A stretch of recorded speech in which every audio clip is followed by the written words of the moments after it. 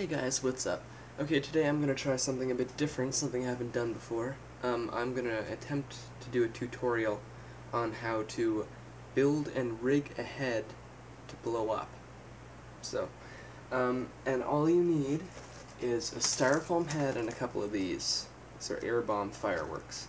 Alright, so now, um, you're to need some of that. You're to need a styrofoam head, which I've already started to cut up and work on here.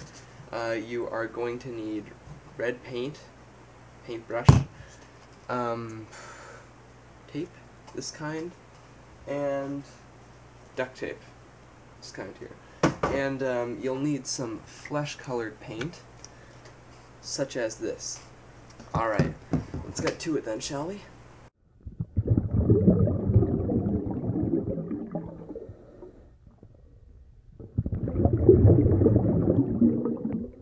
Alright, I already went ahead and took the liberty of cutting up the styrofoam head into several different pieces. Here's another piece.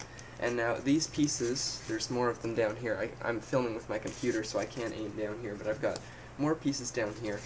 And all of these pieces have been cut off of this main head.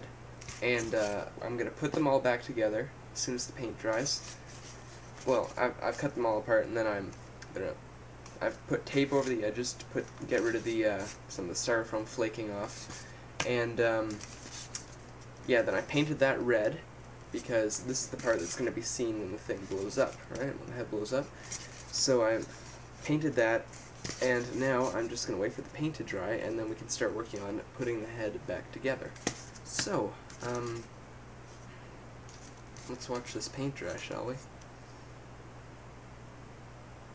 Okay, you don't want to watch this, do you, Gary? Um, I'm just going to stop. I'll move ahead to the next step. Alright, now what I'm going to start to do is I'm going to take these pieces and I'm going to start putting the head back together. Now that the paint is dried. And what I'm going to use, I'm just going to use masking tape for that.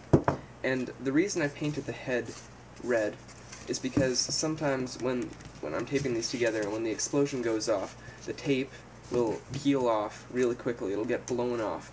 And when that gets blown off, you don't want white styrofoam to be showing underneath, right?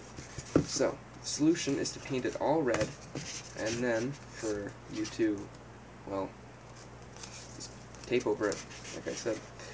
So, I'm just going to work away at that right now. Just laying the tape over top of the seams.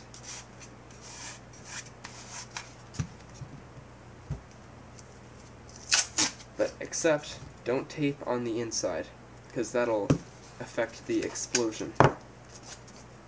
And you may be wondering how the explosion is actually going to work. Well, I'll explain that when we get there. But make sure, let me just say, you make sure you get one of the styrofoam heads with the hole in them. But I really don't need to say that, because all of the styrofoam heads you buy come with a hole in them. Okay,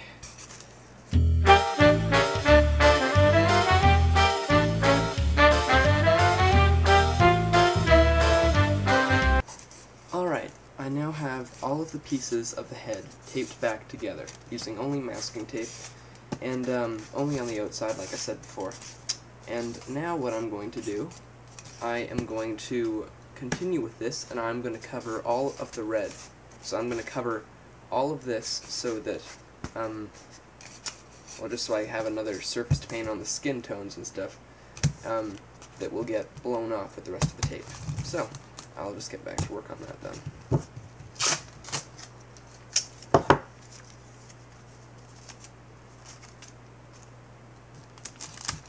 You also want to try not to overlap over these gaps too much because we want that to be um, fairly weak so that the explosion will blow all the chunks everywhere. So don't go across again. Avoid that as much as possible.